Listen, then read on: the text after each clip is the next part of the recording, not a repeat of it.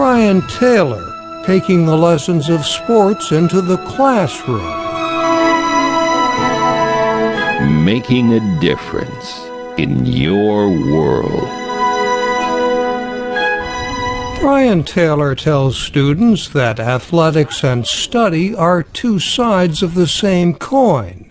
He says he learned as a basketball star at Princeton University that both take hard work and perseverance. Taylor was Ivy League Rookie of the Year in 1971 and Rookie of the Year for the American Basketball Association two years later. He helped lead the ABA's New York Nets to two league championships. He later played for the San Diego Clippers, Kansas City Kings, and Denver Nuggets of the National Basketball Association, or NBA. After 10 years in professional sports, he returned to Princeton to finish his degree, a decision that would ultimately lead to a career in education. I said, what can I do that would to really um, distinguish myself and something that my family would respect me for?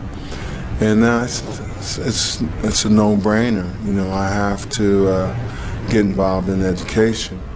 Taylor thought he could have an impact in the inner city, where minority students often drop out of school and waste their talent.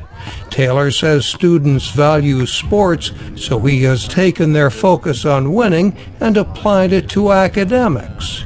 He helped set up the Inner City Education Foundation, or ICEF, which runs this school, View Park Prep, and 14 other rigorous college preparatory schools.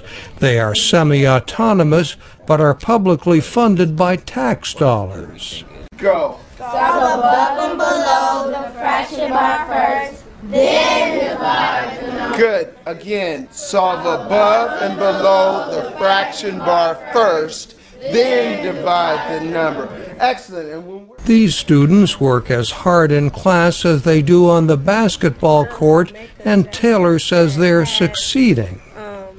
We're very proud that our first three graduating classes, 100% of our kids have not only graduated from uh, View Park Prep, but have uh, enrolled in the top colleges, and universities in the United States. View Park student Sydney Labat likes science as well as sports. I want to go to college, play basketball, Her friend Danielle Pruitt wants to combine sports with veterinary medicine.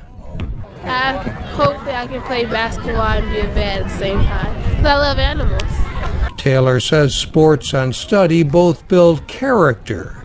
He helps with a coaches program to teach adolescent boys to respect young women, and he says his schools demand high standards of personal conduct.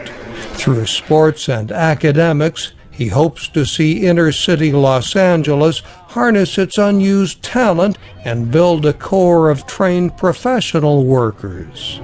Hopefully, I'll be able to come back when I'm old and on my cane to see all the professional people the doctors, the lawyers, the principals, the teachers. And that's where I think my legacy will lie. Brian Taylor, a coach and teacher who was making a difference in the inner city. Mike O'Sullivan, VOA News, Los Angeles.